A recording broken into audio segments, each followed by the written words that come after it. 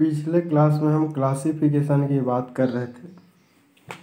Classification के on the basis of construction देखे थे। सेकेंड टाइप का है आपका सेल टाइप ट्रांसफार्मर सेकेंड है आपका shell type transformer second type है आपका कंस्ट्रक्शन के बेसिस पे shell type transformer first type हम देख चुके थे core type shell type transformer में क्या होता है? ये बेस, ये बेसिकली ये जो क्लासिफिकेशन है, वो on the basis of structure of core है। ठीक है? कोर का मतलब क्या होता है?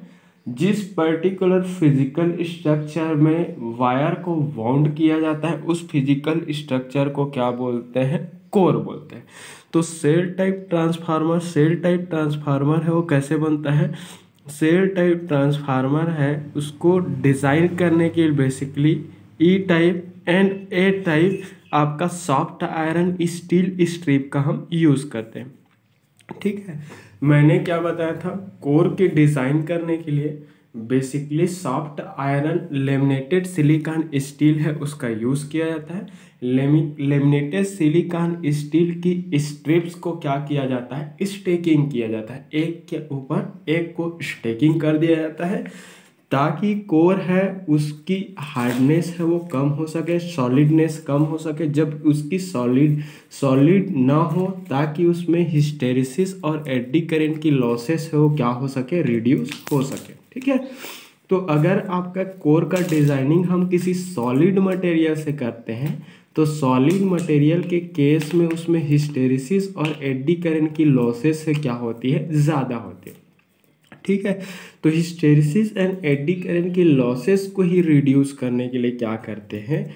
कोर कोर है, उसको सॉलिड ना करके हम सिलिकॉन लेमिनेटेड स्टील स्ट्रिप्स को क्या किया जाता है? स्टेकिंग किया जाता है। और स्टेकिंग करके हम क्या बना देते हैं? कोर डिज़ाइन करते हैं, ठीक है? तो बेसिकली सेल टाइप ट्रांसफार्मर है, उसको डिज़ाइन करने के लिए हम ई एंड आई सेव की हम क्या करते हैं? स्टील स्ट्रिप्स का यूज़ करते हैं। स्टील सीड्स बोल सकते हैं। या फिर स्टील स्ट्रिप बोल सकते स्टील के सीट्स का यूज़ करते हैं। तो ई टाइप और आई टाइप स्टील स्ट्रिप्स को इस टाइप से अरेंज करते हैं कि वो क्या हो सके। डबल रेक्टेंगुलर शेप्ड कोर है वो बन सके। इस टाइप का आपका ये ई शेप है, मैं डिज़ाइन करके बता रहा हूँ ये। आपका ई शेप ये आपका ई शेप स्टील स्ट्रिप्स है स्टील का सीट है। थीन स्टील स्ट्रिप्स है। इस thin steel strips, E shape और इसके ऊपर में हम क्या कर देते हैं? आपका इस आई सेप्ड इस आई सेप्ड स्टील सीट्स को हम क्या कर देते हैं? अरेंज करते हैं। इस टाइप से उसको हम क्या कर देते हैं? दोनों को कंबाइन कनेक्ट कर देते हैं। कि ये क्या हो सके? डबल रेक्टेंगुलर शेप्ड कोर है वो, बन सके। तो ई शेप और आई शेप स्टील सीट्स को इस टाइप से अरेंज करते हैं कि डबल रेक्टेंगुलर शेप क्या हो सके? कोर डिज़ाइन किया जा सके। तो देखो डबल रेक्टेंगुलर हो गया, ये डबल रेक्टेंगुलर हो गया, ये डबल तो इस टाइप से इस डबल रेक्टेंगुलर स्टील सीट्स को क्या किया जाता है? स्टेकिंग किया जाता है, जिसमें से हर एक जो सीट्स जो रहता है सिलिकॉन लेमिनेटेड रहता है, एक दूसरे से क्या रहता है वो? इंसुलेटेड रहता है। क्लियर हुआ? तो जैसे ही इसको ई शेप और आई शेप स्टील सीट्स को इस टाइप से कनेक्ट करते हैं कि डबल रेक्टेंगुलर शेप्ड क्या बन सके? कोर बन सके। देखो, ये डबल रेक्टेंगुलर शेप्ड कोर है, ये एक रेक्टेंगुलर शेप्ड कोर है और ये भी आपका रेक्टेंगुलर शेप तो डबल रेक्टेंगुलर शेप्ड कोर बनने से क्या होता है यहाँ पर? Parallel rectangular parallel magnetic path create हो जाता है। ठीक है, यहाँ पर एक पैरेलल मैग्नेटिक पाथ है, ये एक पैरेलल मैग्नेटिक पाथ है। इसी पैरेलल मैग्नेटिक पाथ पे क्या होता है? फ्लक्स का डिवीज़न होता है। फ्लक्स है वो डिवाइड होकर के क्या होता है? पासेस होता है। ठीक है, उसके बाद क्या करते हैं? ये आपका सेंट्रल लिम्ब है मिडिल वाला आर्म है सेंट्रल आर्म हो गया, ये लेफ़्ट आर्म हो गया राइट आर्म हो गया। तो सेंट्रल आपका जो लिम है, बीच वाला जो लिम है, इस लिम पर हम क्या करते हैं? हाई कंडक्टिविटी वाले मटेरियल से वायर वायर को क्या किया जाता है? वाउंड किया जाता है। तो इस सेंट्रल लिम में मिडिल जो आपका इनर जो लेयर जो रहता है इनर जो वाइंडिंग होता है इनर जो वाइंडिंग है, ये इनर वाइंडिंग है, वो क्या होता है? प्राइमरी वाइंडिंग होता है। इनर जो वाइंडिंग है इनर वाइंडिंग है, वो क्या होता है? प्राइमरी वाइंडिंग होता है। इनर वाइंडिंग है, वो primary inner winding primary winding होता है। और इस वाइंडिंग के अपर लेयर पे क्लॉथ पेपर या फिर माइका जैसे एक लेयर से हम इंसुलेट करते हैं। इंसुलेट करने के बाद इसी आपका इनर लेयर के ऊपर में हम क्या कर देते हैं? अगेन वायर को वाउंड करके सेकेंड लेयर तैयार ये आपका क्या करता है? सेकेंडरी सेकेंडरी वाइंडिंग होता है। ये आपका वाइंडिंग क्या होता है? सेकेंडरी सेकेंडरी वाइंडिंग एक है आपका प्राइमरी वाइंडिंग तो प्राइमरी वाइंडिंग है, उसका डिज़ाइन है, वो कैसे करते हैं? हाई कंडक्टिविटी वाले कॉपर वायर को इनर इनर क्या किया जाता है? वाउंड किया जाता है। ये सेंट्रल लिम्ब है मिडिल आर्म है। तो सेंट्रल या फिर मिडिल आर्म पे हम क्या करेंगे? कॉपर वायर को वाउंड करके प्राइमरी वाइंडिंग तैयार करते हैं। फिर उस प्राइमरी वाइंडिंग के अपर हम ऊपर में हम क्या करेंगे?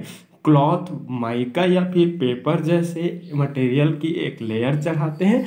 अगेन हम उस पेपर या माइका या फिर क्लॉथ जैसे लेयर के ऊपर हम क्या कर देते हैं?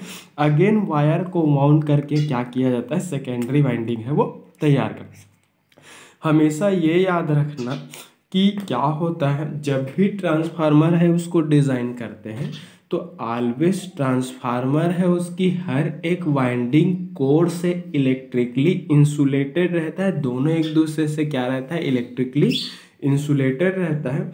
तो कोर से प्राइमरी वाइंडिंग भी इलेक्ट्रिकली इंसुलेटेड रहता है और कोर से सेकेंडरी वाइंडिंग भी इलेक्ट्रिकली इंसुलेटेड रहता है और दोनों प्राइमरी एंड सेकेंडरी दोनों जो वाइंडिंग है, वो भी एक दूसरे से क्या रहता है इलेक्ट्रिकली इंसुलेटेड रहता है। ठीक है? मान लिया जाए हम, यहाँ पर हम ये क्या है आपका डबल रेक्टेंगुलर शेप्ड आपका मैग्नेटिक कोर बन गया।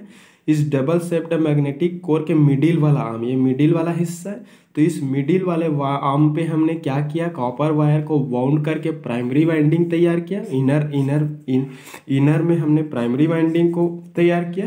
फिर अगेन उस प्राइमरी वाइंडिंग है उसके ऊपर क्लॉथ माइका या फिर पेपर जैसे मटेरियल का एक लेयर क्या किया? चढ़ा है। उसी लेयर के ऊपर में हमने क्या किया? अगेन कॉपर जैसे मटेरियल से बने हुए हाई कंडक्टिविटी वाले वायर को अगेन उसी के ऊपर क्या कर दिए? वाउंड कर दिए। वाउंड करने से जो वाइंडिंग तैयार होता है, वो क्या है आपका? सेकेंडरी तो ये आपका प्राइमरी वाइंडिंग और ये क्या हुआ? अपर जो लेयर जो वाइंडिंग जो रहता है, वो क्या रहता है? सेकेंडरी प्राइमरी एंड सेकेंडरी जो वाइंडिंग है, उसको एक ही लिम्ब पे, इसको क्या बोलते हैं? ये लिम्ब है लेफ़्ट लिम्ब ये लेफ़्ट लिम्ब है, ये लेफ़्ट लिम्ब है। ये वाला लिम्ब को हम क्या बोलेंगे? मिडिल वाला लिम्ब या सेंट्रल लिम्ब बोलेंगे। ये वाला लिम्ब है, उसको क्या बोलेंगे? राइट right वाला लिम्ब बोलेंगे। ठीक है, लिम्ब बोल सकते हैं या फिर आम बोल सकते हैं। भुजा बोल सकते हैं। तो ये डबल रेक्टेंगुलर शेप्ड आपका कोर है। उस डबल रेक्टेंगुलर शेप्ड कोर के आपका इन मिडिल वाले लिम्ब पे हम क्या करते हैं?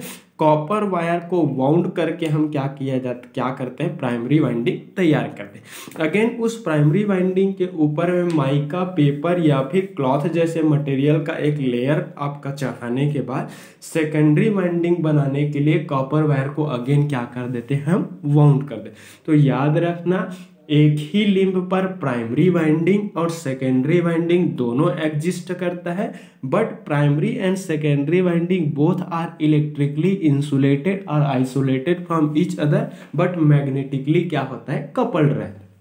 ठीक है? तो क्या रहता है? किसी ट्रांसफार्मर का primary and secondary winding electrically insulated रहता है बट मैग्नेटिकली क्या रहता है वो? कपल्ड रहता है।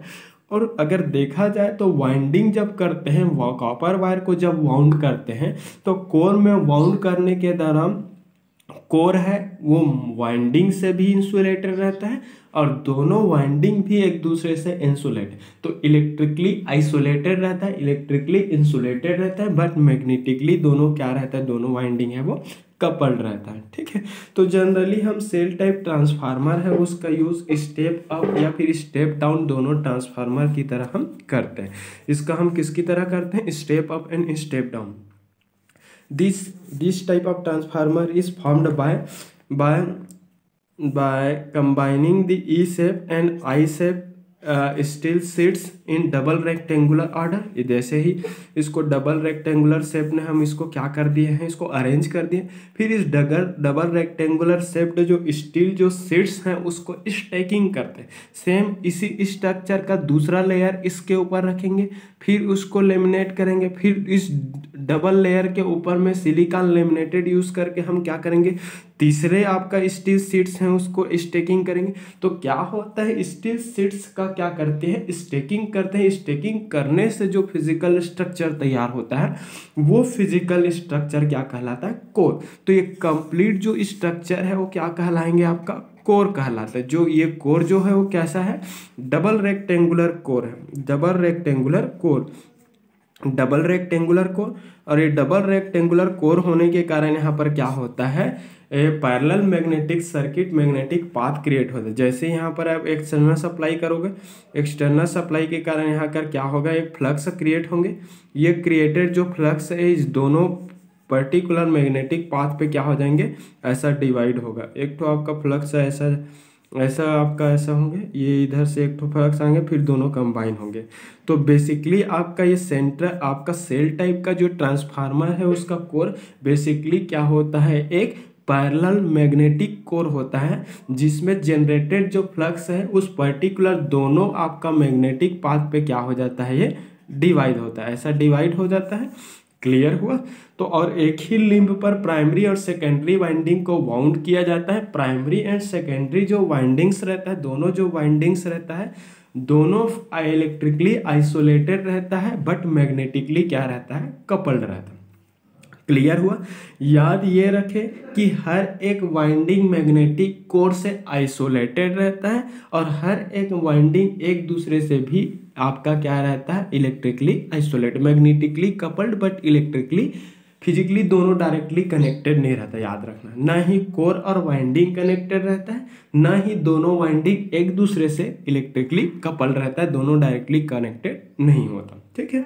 तो जनरली ये सेल टाइप ट्रांसफार्मर का यूज़ हम step up step up and step down step up and step down दोनों ट्रांसफार्मर की तरह हम यूज़ करते हैं। Step up step down transformer दोनों ट्रांसफार्मर की तरह इसका हम यूज़ करते हैं। तो shell type transformer core type transformer on the basis of structure of core of transformer ठीक है there are two types of transformer first is core type second is shell type तो हमने क्या किया? कोर टाइप है उसको दो L shaped silicon laminated stage sets को इस टाइप से ऑर्डर में कनेक्ट करके बनते हैं कि वो एक सिंगल रेक्टेंगुलर कोर है, वो फॉर्म हो सके। क्लियर हुआ? तो ये सेल टाइप ट्रांसफार्मर हो गया। ऑन द बेस ये कोर कोर है डबल याद रखना कि इसमें आपका वाइंडिंग है, उसको वाउंड हम सेंट्रल लिम पे ही करते हैं मिडिल लिम पर ही किया जाता है। अब ऑन दी बेसिस आप अब ऑपरेटेड एसी सिग्नल बोल सकते हैं अप्लाइड एसी सिग्नल अगर on the basis of on the basis of applied AC signal या फिर ऑपरेटेड एसी सिग्नल ठीक on the basis of operated applied AC signal AC signal की बेसिस पर मतलब ऑपरेटेड एसी सिग्नल की basis पर है। ऑपरेटेड एसी सिग्नल की बेसिस पर ट्रांसफार्मर है, वो क्या होता है? एक है सिंगल फेस ट्रांसफार्मर। एक आपका क्या होता है? सिंगल फेस ट्रांसफार्मर ठीक है? सिंगल फेस ट्रांसफार्मर और दूसरा जो होता है, वो क्या होता है? थ्री फेस ट्रांसफार्मर, ठीक है? Single phase transformer and three phase transformer on the basis of operated AC signal ठीक है? तो जिस पर्टिकुलर एसी सिग्नल पर वो ऑपरेट होता है। उस ऑपरेटेड एसी सिग्नल की बेसिस पर आपका ट्रांसफार्मर दो टाइप एक सिंगल फेस ट्रांसफार्मर और दूसरा क्या होता है थ्री फेस ट्रांसफार्मर तो on the basis of operated AC signal there are two types of transformer first is आपका single phase transformer second is three phase transformer अब चलो हम देखते हैं थ्री सिंगल फेस ट्रांसफार्मर के बारे में देखते हैं। Single phase transformer. ठीक है तो अब सिंगल फेस ट्रांसफार्मर किसको बोलेंगे? ऐसा ट्रांसफार्मर जो सिंगल फेस एसी सप्लाई पे ऑपरेट करता है। ठीक है a transformer which operates on single phase AC signal is called single phase transformer transformer which operates which operates operates on single phase AC signal which operates on single phase phase AC signal ठीक है? तो ऐसा transformer जो single phase AC signal पर operate करते हैं, ऐसे transformer को हम क्या बोलते हैं? सिंगल फेस ट्रांसफार्मर बोलते हैं। बेसिकली सिंगल फेस ट्रांसफार्मर का यूज़ हम क्या करते हैं? हमारे डोमेस्टिक होम अप्लायंस जो है, जैसा कि आपका स्टेबलाइजर हो गया वोल्टेज स्टेबलाइजर बोलते हैं इसको। वोल्टेज फिक्स करने का काम करता है कांस्टेंट मेंटेन करने का काम करता है। टीवी रिसीवर हो गया। ठीक है टीवी रिसीवर हो गया। आपका टीवी रेडियो रिसीवर हो गया। रेडियो रिसीवर हो गया। TV receiver radio receiver stabiliser TV receiver radio receiver और वेरियस टाइप के आपका जितना भी होम अप्लायंस है, हमारे डोमेस्टिक जो होम अप्लायंस है वो सारे होम अप्लायंस में जनरली क्या होता है? सिंगल फेस ट्रांसफार्मर का यूज़ करते हैं। क्लियर हुआ? तो सिंगल फेस ट्रांसफार्मर जो यूज़ होता है, वो स्टेप अप मतलब स्टेप अप स्टेप डाउन दोनों हो सकता है। But on the basis of construction अगर बोले जाए इट में भी कोर टाइप ये आपका कोर टाइप का ट्रांसफार्मर हो सकता है। कोर टाइप ट्रांसफार्मर ठीक है? और आपका क्या होता है? Shell type transformer core type transformer and क्या होता है? सेल टाइप ट्रांसफार्मर, ठीक है? कोर टाइप ट्रांसफार्मर हो सकता है, सेल टाइप ट्रांसफार्मर। क्लियर हुआ? तो कहने का मतलब आपका सिंगल फेस ट्रांसफार्मर किसको बोलेंगे? A transformer which operates on single phase AC supply is called a single phase ठीक है? बेसिकली सिंगल फेस ट्रांसफार्मर है, वो core type single phase transformer हो सकता है, या फिर shell type single phase transformer हो सकता है। मतलब सिंगल फेस ट्रांसफार्मर है, वो कोर टाइप से भी डिजाइनेटेड हो सकता है, या फिर क्या हो सकता है आपका? सेल टाइप का भी ट्रांसफार्मर हो सकता है। बेसिकली इस सिंगल फेस ट्रांसफार्मर का यूज़ हम, हमारे जो डोमेस्टिक आपका इक्विपमेंट है, या फिर बोल सकते हो, हमारा होम अप्लायंस है, जितना भी होम अप्लायंस है, वो सारे होम अप्लायंस में सिंगल फेस ट्रांसफार्मर का यूज़ किया जाता है, ठीक है? तो जितना भी होम अप्लायंस है, सारे जगह पे सिंगल फेस ट्रांसफार्मर का यूज़ किया जाता है।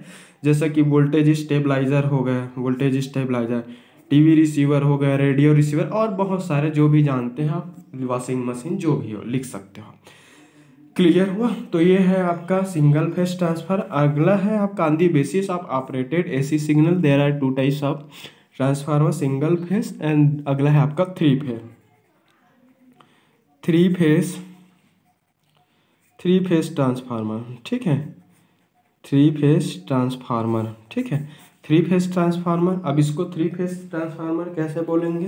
तो जितना हम जो सेल टाइप और कोर टाइप ट्रांसफार्मर हम कंस्ट्रक्शन में देखे थे, वो बेसिकली आपका क्या है जो मैं बताया हूँ, वो सिंगल फेस ट्रांसफार्मर है। क्लियर हुआ? अब थ्री फेस ट्रांसफार्मर किसको बोलेंगे? ऐसा ट्रांसफार्मर जो थ्री फेस एसी सप्लाई पे क्या करता है? ऑपरेट करता है। Which operates which operates which operates on three phase AC supply on three phase three phase AC supply ठीक है? On three phase AC supply ऐसा ट्रांसफार्मर जो थ्री फेस एसी सप्लाई पे ऑपरेट करते हैं, ऐसे ट्रांसफार्मर को क्या बोलते हैं हम? थ्री फेस ट्रांसफार्मर बोलते हैं ठीक है? अब बेसिकली ये थ्री फेस ट्रांसफार्मर है, वो आपका क्या हो सकता है? ये भी आपका सेल टाइप या फिर कोर टाइप का ट्रांसफार्मर हो सकता है। मतलब आंधी बेसिस अगर देखा जाए तो थ्री फ़ेज़ ट्रांसफार्मर का डिज़ाइन हम कोर टाइप में भी कर सकते हैं और किसमें कर सकते हैं? सेल टाइप दोनों फॉर्म में हम उसको थ्री फ़ेज़ ट्रांसफार्मर को डिज़ाइन कर सकते हैं। बेसिकली थ्री फ़ेज़ ट्रांसफार्मर का यूज़ क्या होता है? इलेक्ट्रिक पावर जो जनरेस जनरेटर जो रहता है जनरेशन जो सेंटर होता है पावर जनरेशन जो सेंटर होता है पावर जनरेशन जो सेंटर होता है पावर जनरेशन जो सेंटर होता है, उस पावर जनरेशन सेंटर में जनरेटेड जो इलेक्ट्रिक पावर है, उस जनरेटेड इलेक्ट्रिक पावर को स्टेप अप करके, क्लियर हुआ? मान लीजिए आपका generated electric power power generation जो सेंटर है, उसमें जनरेटिक जो इलेक्ट्रिक जो पावर, जो जनरली आपका 11 किलो किलो वोल्ट का है, इस 11 किलो वोल्ट के जनरेटेड जो इलेक्ट्रिक पावर है, उसको स्टेप अप करके 220 volt 220 kilo volt 132 kilo volt छियासठ की साठ छियासठ किलो वोल्ट इस पर्टिकुलर आपका रेंज मतलब अगर आपको ये पता नहीं है, अगर वोल्टेज रेंज पता नहीं है तो कोई दिक्कत नहीं। आप बस इतना ही लिख सकते हो।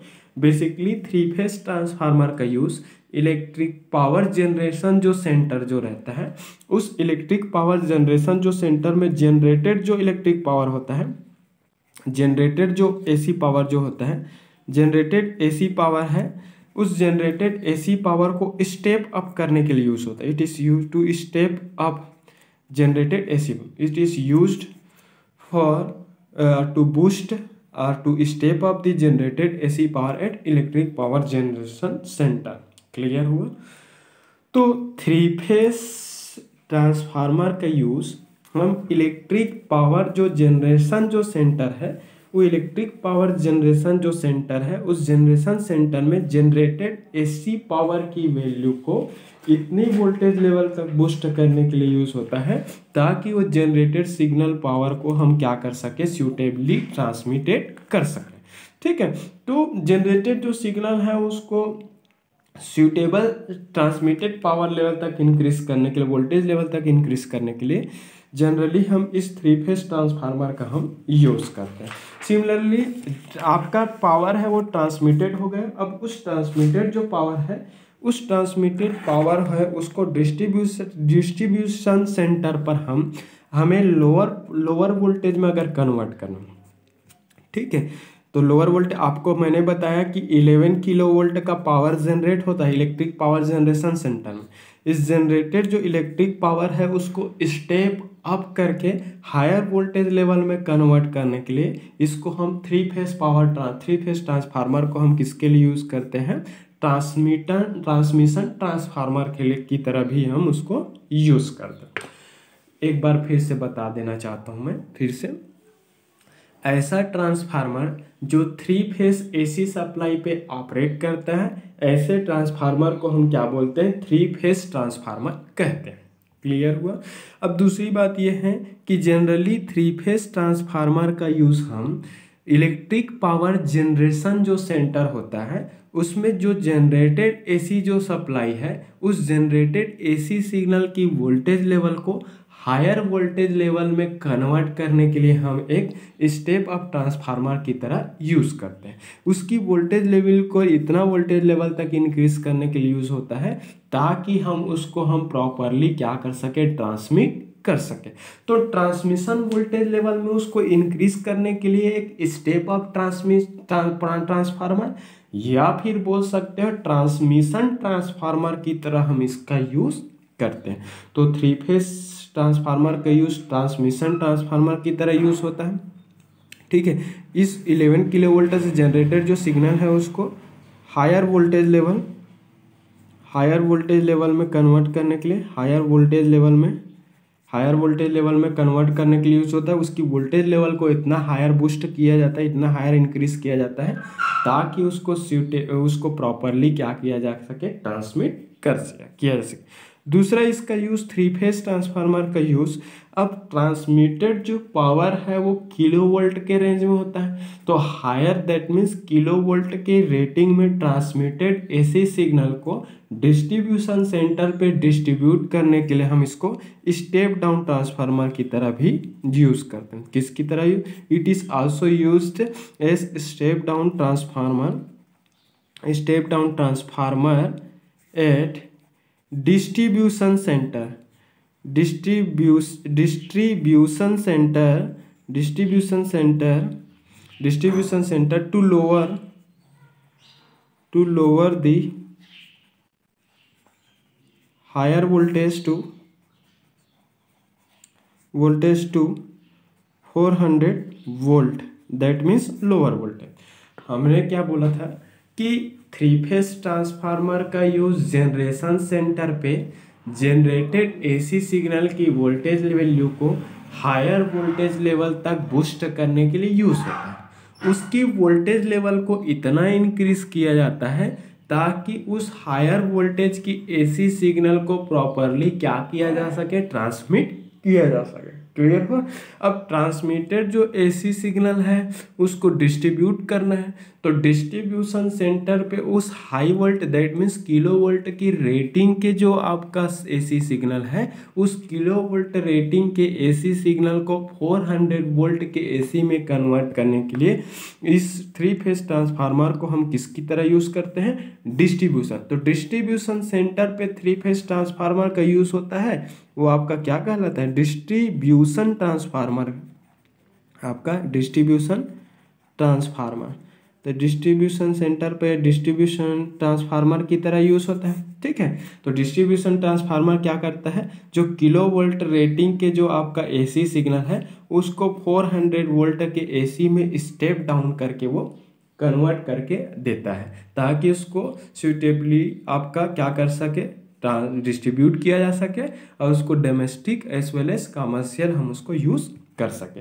तो जनरली थ्री फ़ेज़ ट्रांसफार्मर का यूज़ हम स्टेप अप और स्टेप डाउन दोनों ट्रांसफार्मर की तरह हम यूज़ कर सकते हैं। स्टेप अप की तरह यूज़ करना है तो थ्री फ़ेज़ ट्रांसफार्मर को आप जनरेशन सेंटर में यूज़ करोगे। अगर आपको स्टेप डाउन की तरह अगर यूज़ करना है तो डिस्ट्रीब्यूशन ट्रांसफार्मर की तरह आप उसको यूज़ करें। तो ये था ऑन दी बेसिस हाँ ये याद रखेंगे। थ्री फ़ेज़ ट्रांसफार्मर में क्या होता है?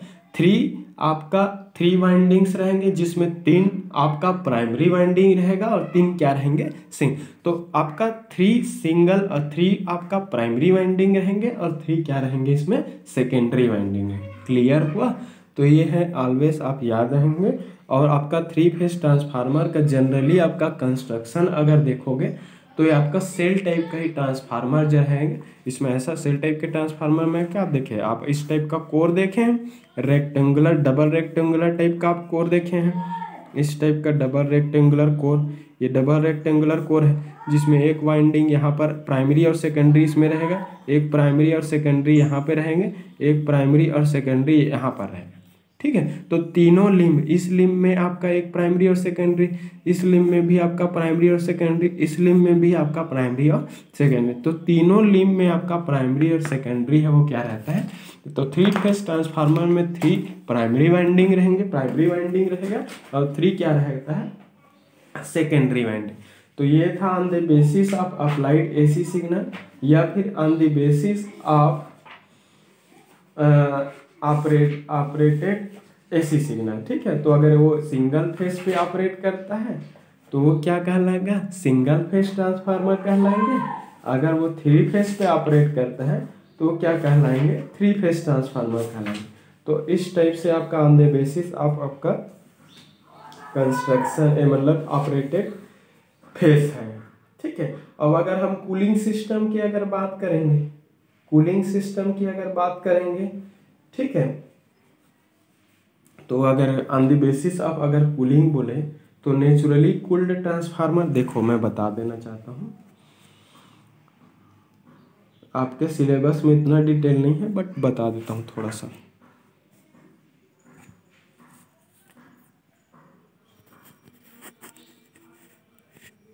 ये on the basis of on the basis of cooling system, on the basis of cooling system. On the basis of cooling system, ठीक है?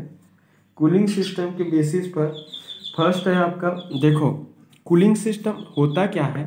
जैसे ही हम उसमें एक्सटर्नल एसी सप्लाई देते हैं एक्सटर्नल एसी सप्लाई के कारण क्या होता है? उसकी वाइंडिंग में इलेक्ट्रिकल करंट का फ्लो होने लगता है। ठीक है? अब इलेक्ट्रिकल के फ्लो होने के कारण ट्रांसफार्मर का जो वाइंडिंग है, वो कुछ अमाउंट में आपका करंट है, उसको एब्जॉर्ब करता है। मतलब उसके अंदर लार्ज अमाउंट में करंट का फ्लो होने के कारण उसके वाइंडिंग है, वो क्या होने लगता है? हीट होने लगता है।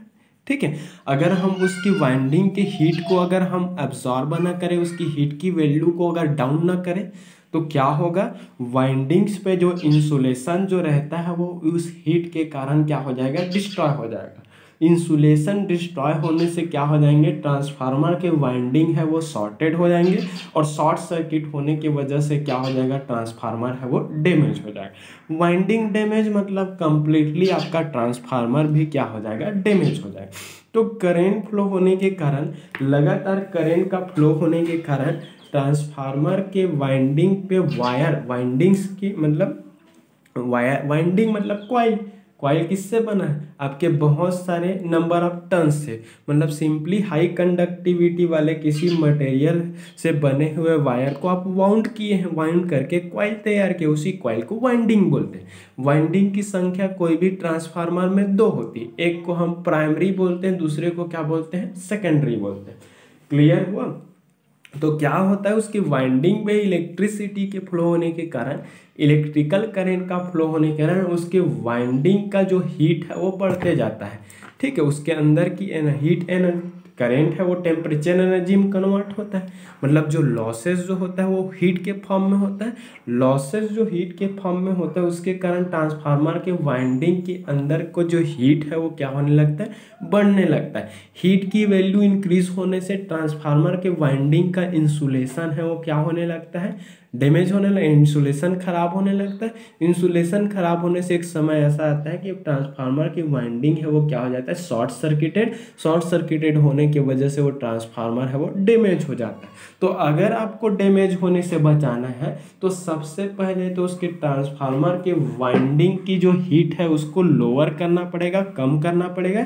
और ट्रांसफार्मर के वाइंडिंग की अगर हीट को कम करना है तो उस पर्टिकुलर केस में क्या करना पड़ेगा? ट्रांसफार्मर की वाइंडिंग की हीट है, उसको कम करना है तो उस पर्टिकुलर केस में क्या करना पड़ेगा? आपको कैसे भी करके उस ट्रांसफार्मर के वाइंडिंग पे जनरेटेड जो हीट है, उसको क्या है? ट्रांसफ़र करना। तो ट्रांसफ़र उसकी हीट को डाउन करने के लिए जिस एक्सटर्नल मैकेनिज्म का यूज़ करते हैं, वही क्या है आपका कूलिंग सिस्टम ताकि उसकी ट्रांसफार्मर का वाइंडिंग का टेम्परेचर है वो कम हो टेम्परेचर कम होने से वो उसकी इंसुलेशन डैमेज ना हो, और जब इंसुलेशन डैमेज ना हो तो ट्रांसफार्मर है वो प्रोटेक्ट हो जाएगा बच जाएगा डैमेज होने से बच जाएँगे।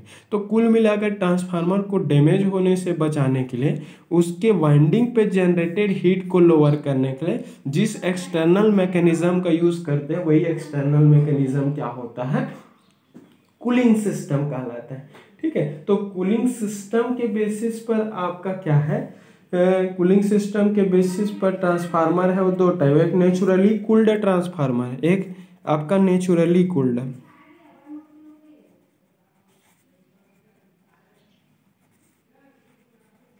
Naturally cooled transformer. तो नेचुरली कूल्ड ट्रांसफार्मर में क्या होता है? कोई एक्सटर्नल मैकेनिकम मैकेनिज्म का यूज़ न करके क्या करते हैं? एयर के थ्रू उस ट्रांसफार्मर में वेरियस आपका एयर डक्ट्स होता है। उस एयर डक्ट्स से क्या होता है? एयर है, वो पासेस होता है। मतलब आपका प्रकृति में नेचर में जो हवा का फ्लो बह रहा है, वो बह रही जो हवा है उस एयर डक्ट से होकर पासेस होता है और उस एयर डक्ट से आपका कुल्ड जो एयर है पासेस होता है, वो वाइंडिंग के थ्रू पास हो जाता है। वाइंडिंग के थ्रू पास हो जाता है वाइंडिंग के हीट को एक कुल्ड एयर है, वो एब्जॉर्ब कर लेता है, जिससे उसकी वाइंडिंग का आपका टेम्परेचर है, वो क्या हो जाता है? डाउन हो जाता है, कम हो जाता है। तो नेचुरली कूल्ड ट्रांसफार्मर में कोई एक्सटर्नल मैकेनिज्म नहीं होता। उसमें ट्रांसफार्मर की जो कोड जो रहती है, उसकी एरिया जो होती है, वो ज़्यादा होती है। ज़्यादा होती है तो क्या होता है, उसकी कोर के अंदर है, वो हीट डिसिपेशन ज़्यादा होगा, अधिक अमाउंट में हीट को एब्जॉर्ब करेगा और उसी से होकर आपका नेचुरल हवा है वो नेचुरल एयर है वो क्या होता है पासेज होता है। क्लियर हुआ? मान लीजिए ऐसा आपका ट्रांसफार्मर है सपोज़ ये आपका हमारे ट्रांसफार्मर का कोर हो गया सिंपल आपका कोर टाइप यहाँ पर आपका वाइंडिंग्स हो गया आपका ये आपका सेकेंडरी वाइंडिंग ये दो वाइंडिंग इस कंप्लीट आपका कोर और वाइंडिंग है, उसको एक टैंक के अंदर डुबा देते हैं। टैंक के ऊपर रख देते हैं, ताकि इसके वाइंडिंग और कोर है, उसको एक्सटर्नल मॉइस्चर आपका और एक्सटर्नल आपका फोर्स है, उससे डैमेज होने से इसको प्रोटेक्ट करने के लिए हम इसको एक आपका टैंक सॉलिड टैंक के अंदर इसको क्या कर देते हैं? रख देते हैं। क्लियर हुआ? अब क्या होता है? उस आपका जो जनरली नेचुरली कूल्ड ट्रांसफार्मर जब डिज़ाइन करते हैं तो उस ट्रांसफार्मर की कोर है, उसकी साइज़ है, उसकी एरिया बड़ा लेते हैं। क्योंकि अगर कोर की साइज़ ज़्यादा रहेगा तो ज़्यादा अमाउंट में हीट को एब्जॉर्ब करेगा। तो उस पर्टिकुलर केस में क्या होता है? नेचुरली कूल्ड ट्रांसफार्मर है, उसकी कोर की एरिया अधिक होती है नॉर्मल ट्रांसफार्मर के रिस्पेक्ट में, ताकि वो अधिक मात्रा में क्या कर सके हीट को एब्जॉर्ब कर सकें। फिर उसके बाद क्या करते हैं, इस पर्टिकुलर आपका ट्रांसफार्मर है, उसको, उससे होकर हम एयर को क्या करते हैं पासेस करते हैं। तो नेचुरल जो एयर जो प्रकृति में जो हवा बह रही होती है, वही हवा इस ट्रांसफार्मर से होकर, इसके वाइंडिंग से, इसके कोर से होकर पासेस होता है, जिससे इसके कोर के हीट को एयर है, वो क्या करता है एब्जॉर्ब हो जाता है एब्जॉर्ब कर लेता है। फाइनली इसकी कोर की, इसकी वाइंडिंग की टेम्परेचर है, वो क्या हो जाती है, कम हो जाती है। तो ये है आपका नेचुरली कूल्ड ट्रांसफार्मर दूसरा है आयल कूल्ड ट्रांसफार्मर ठीक है? तो आयल कूल्ड ट्रांसफार्मर में क्या होता है? आयल कूल्ड ट्रांसफार्मर के केस में क्या करते हैं हम? ऑयल का यूज़ करते हैं मोबाइल ऑयल या मिनरल ऑयल का यूज़ किया जाता है। वो जो ऑयल है वो क्या करते जाता है? लगातार उसके वाइंडिंग पे जनरेटेड जो हीट है उसको क्या करते जाता है? एब्जॉर्ब करते जाते हैं, ठीक है? तो आपका ऑयल कूल्ड ट्रांसफार्मर में कुछ नहीं करते। उस ट्रांसफार्मर के जो वाइंडिंग्स है, उसको हम एक आपका मिनरल ऑयल में क्या कर देते हैं? सिंक उसको मिनरल ऑयल के अंदर क्या करते हैं? आपका डुबा कर रखा जाता है, ठीक है? तो मिनरल ऑयल जो है, वो क्या होना चाहिए? ट्रांसफार्मर की जो ऑयल है उसको क्या होना चाहिए? बेड कंडक्टर होना चाहिए। ठीक है? मतलब बेड कंडक्टर होना चाहिए, वो आपका फ्लेमेबल नहीं होना चाहिए। ज्वलनशील नहीं होना चाहिए, क्योंकि वो जो मिनरल, जो ऑयल आप जो यूज़ करोगे, वो आपके वाइंडिंग और कोर की टेम्परेचर को एब्जॉर्ब करेगा। और जिस पर्टिकुलर केस में उसकी टेम्परेचर है, वो ज़्यादा हो जाएगा, दूसरा ऑयल है, वो जल सकता है फ्लेमेबल होता है, क्योंकि टेम्परेचर बढ़ा मतलब दूसरे ऑयल है, वो जलना शुरू कर देगा। तो इसमें जो ऑयल यूज़ करते हैं, वो क्या है? मिनरल ऑयल या फिर मोबाइल ऑयल को यूज़ करते हैं। और ये जो मिनरल ऑयल और मोबाइल जो ऑयल है, उसकी आपका क्वालिटी क्या होती है? कि वो इनफ्लेमेबल होता है बेड कंडक्टर होता है वो आपका उसकी अंदर का टेम्परेचर कितना भी बढ़े, वो फ्लेमेबल नहीं रहेगा, जलेगा नहीं बर्न नहीं होगा। तो एक मैंने क्या बोला? नेचुरली कुल्ड इसके पहले मैंने क्या बोला? नेचुरली कुल्ड ट्रांसफार्मर और दूसरा है आपका oil cooled transformer oil oil cooled transformer cooling system के बेसिस पर ट्रांसफार्मर का टाइप है। एक आपका ऑयल कूल्ड ट्रांसफार्मर इस ऑयल कूल्ड ट्रांसफार्मर में क्या होता है? बेसिकली मिनरल या फिर mobile oil mineral oil mineral oil खनिज तेल बोलते हैं, या फिर आपका मोबाइल आयल ठीक है मोबाइल ऑयल ठीक है? तो मिनरल आयल या फिर मोबाइल आयल है उसका यूज़ ट्रांसफार्मर की को या फिर वाइंडिंग की टेम्परेचर को, उसके हीट को एब्जॉर्ब कराने के लिए हम यूज़ करते हैं। जनरली ये जो आपका जो भी आयल कूलिंग के लिए यूज़ होता है, वो आपका क्या होना चाहिए? इनफ्लेमेबल होना चाहिए। मतलब अज्वलनशील इनफ्लेमेबल मतलब उसकी टेम्परेचर कितना, क्योंकि ये जो ऑयल है, उसकी वाइंडिंग ट्रांसफार्मर की वाइंडिंग या फिर ट्रांसफार्मर के कोर के हीट को एब्जॉर्ब करेगा। तो हीट एब्जॉर्ब करेगा तो मिनरल ऑयल के अंदर का टेम्परेचर है, वो बढ़ेगा। तो जब ये इनफ्लेमेबल नेचर का इनफ्लेमेबल करेक्टरिस्टिक्स का रहेगा तो मिनरल ऑयल है, वो बर्न नहीं होगा। तो मिनरल ऑयल जो यूज़ कर रहे हो, वो इनफ्लेमे इनफ्लेमेबल करेक्टरिस्टिक्स का होना चाहिए, या फिर कुचालक होना चाहिए। एक इंसुलेटर की तरह होना चाहिए बेड कंडक्टर इंसुलेटर या फिर क्या होना चाहिए? बेड कंडक्टर मतलब कि इसके अंदर की टेम्परेचर वगैरह को कंडक्शन करने की क्वालिटी नहीं होना चाहिए, ठीक है? तो ये इनफ्लेमेबल होना चाहिए एंड बेड कंडक्टर होना चाहिए, ठीक है? तो सिंपली ऑयल कूल्ड ट्रांसफार्मर में क्या होता है? उस ट्रांसफार्मर के जो वाइंडिंग है, उसको एक ट्रांसफार्मर है। ट्रांसफार्मर मैंने एक बताया कि एक टैंक होता है, उसी टैंक के अंदर हम किसको रखते हैं? ट्रांसफार्मर है, उसकी कंप्लीट फ़िज़िकल उसकी कोर और वाइंडिंग है, उसको रख देते हैं।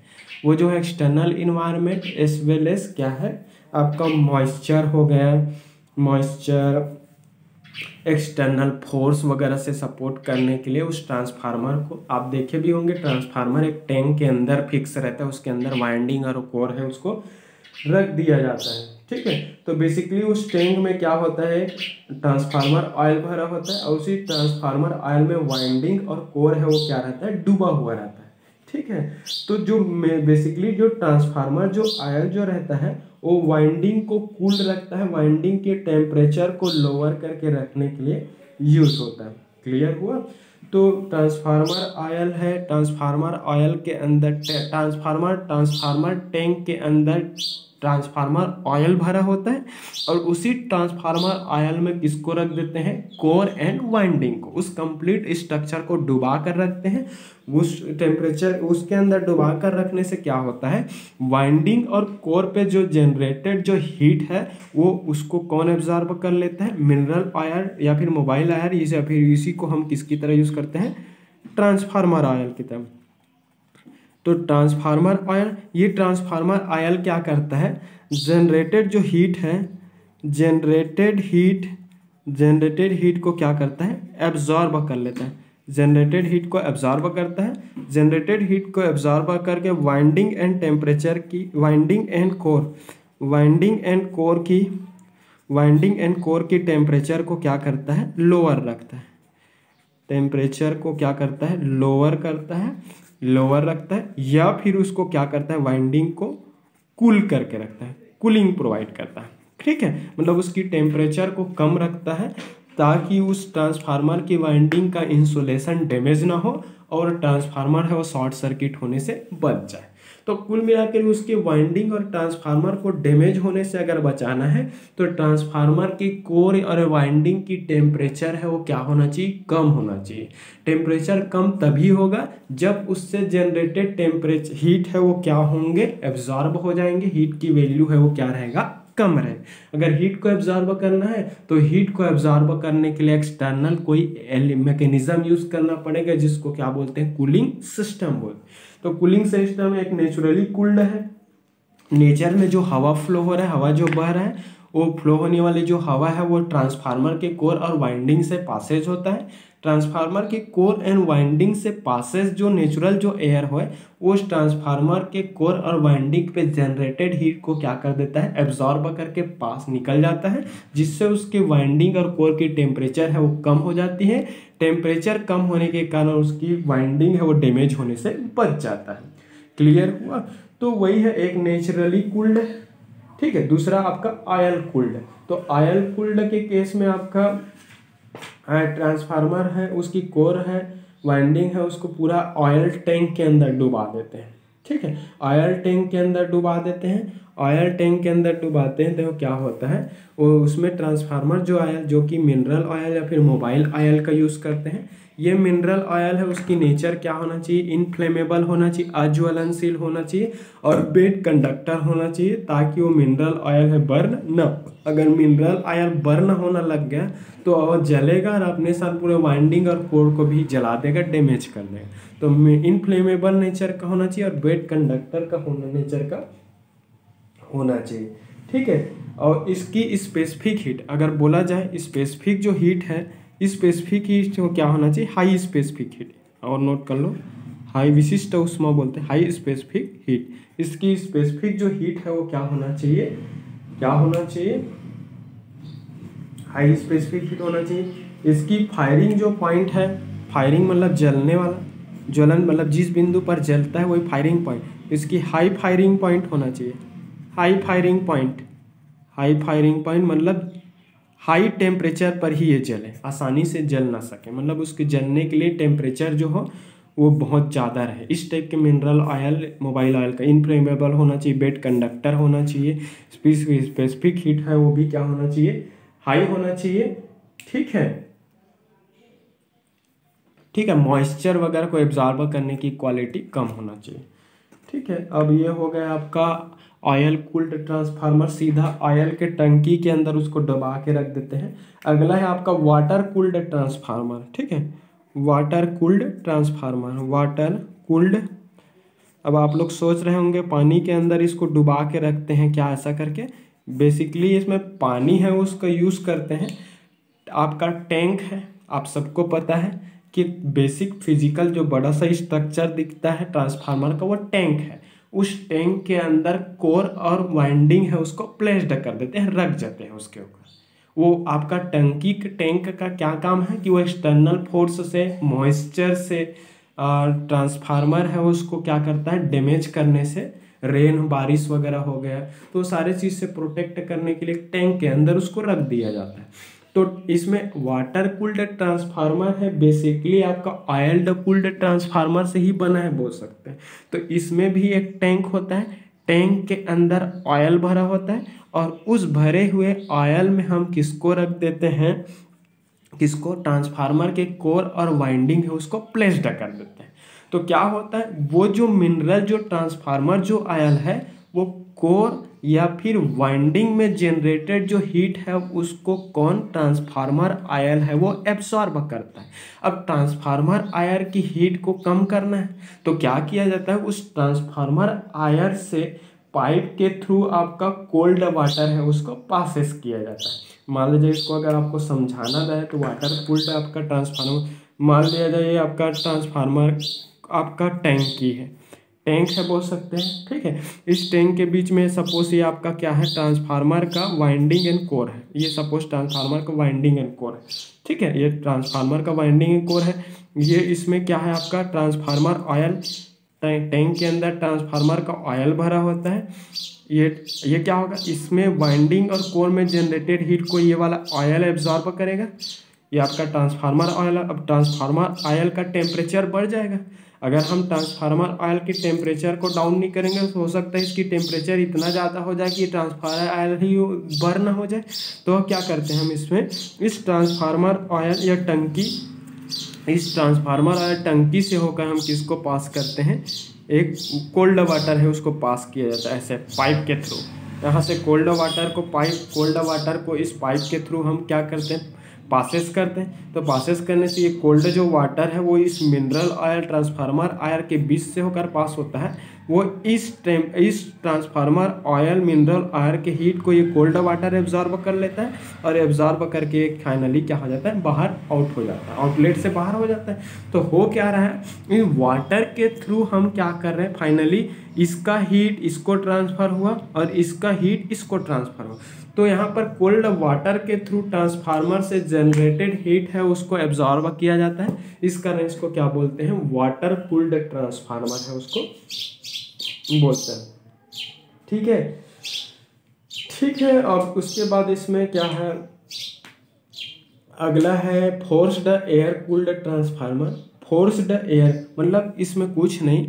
फोर्सफुली आपका कोल्ड एयर है, उसको क्या करते हैं? ट्रांसफार्मर के वाइंडिंग और कोर के थ्रू पासेस करते हैं। एक्सटर्नल ब्लोअर जैसे मैकेनिज्म यूज़ करते हैं। तो एक्सटर्नल ब्लोअर जैसे मैकेनिज्म से एयर को हम कोल्ड एयर को क्या करते हैं? इसी के ऊपर पास करते हैं। इससे होकर गुजारते हैं। तो इसमें कोर और वाइंडिंग में जनरेटेड जो आपका हीट है वो कोल्ड वाइंडिंग के थ्रू क्या किया जाता है? एब्जॉर्ब किया जाता है। एब्जॉर्ब करके, करने से इसकी ट्वाइंडिंग की टेम्परेचर उसको डाउन कर लिया तो forced air cooled transformer that means इसमें कोल्ड जो एयर है, उसको फोर्सफुली ब्लोअर जैसे सिस्टम का यूज़ करके इसके वाइंडिंग और कोर से पासिस करते हैं। जिससे वाइंडिंग और कोर की जनरेटेड हीट को वो आपका कोल्ड एयर एब्सॉर्ब कर लेता है, जिससे वाइंडिंग और कोर की टेम्परेचर है वो क्या हो जाता है? कम हो जाता है। तो ये था external cooling system cooling mechanism के बेसिस पर ट्रांसफार्मर की टाइप है। Air air cooled transformer oil cooled transformer naturally cooled transformer water cooled transformer forced air cooled transformer वायु द्वाब द्वारा शीतलित बोल सकते हैं। फोर्स्ड फोर्सफुली क्या करते हैं इसमें? कोल्ड एयर को क्या किया जाता है? हाई प्रेशर के साथ उसके वाइंडिंग से होकर पास करते तो कोल्ड एयर है वो पास होता है वाइंडिंग से। तो हीट की नेचर है हायर से लोअर मतलब वाइंडिंग की जो हीट है वो एयर में चला जाता है, जिससे वाइंडिंग की टेम्परेचर क्या हो जाती है? डाउन हो जाती है। तो ये था ट्रांसफार्मर का क्लासिफिकेशन वैसे आपके सिलेबस में सिर्फ़ कंस्ट्रक्शन था। बट मैंने अपनी तरफ़ से एक बार पढ़ना है करके थोड़ा डिटेल ले लिया क्लासिफिकेशन आपको पढ़ना ही कभी एग्ज़ाम में आ जाए तो एक काम आ जाए। थैंक यू वीडियो अगर अच्छा लगे तो लाइक करें कमेंट करें शेयर करें। Thank you